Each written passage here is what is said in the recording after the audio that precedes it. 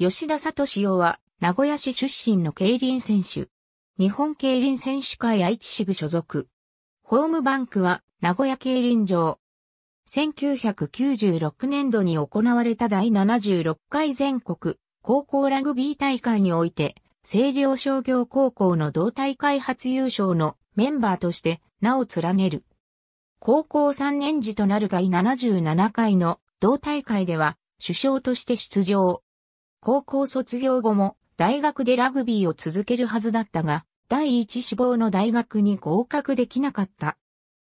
ちょうど高校3年の春、同校ラグビー部の先輩で、当時競輪選手だった若松正宏と日本競輪学校では、若松と同期でラグビー選手としては著名選手であり、同じく当時競輪選手だった渡辺大吾と話をしていくうちに、競輪への興味を持ち、その後、村助王に指示して、競輪選手を目指すことになった。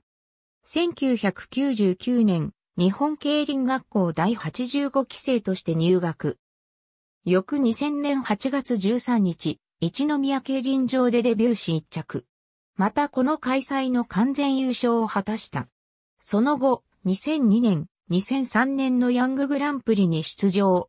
また2004年の高松宮記念杯競輪、全日本選抜競輪、共同通信社杯競輪において、決勝進出を果たしている。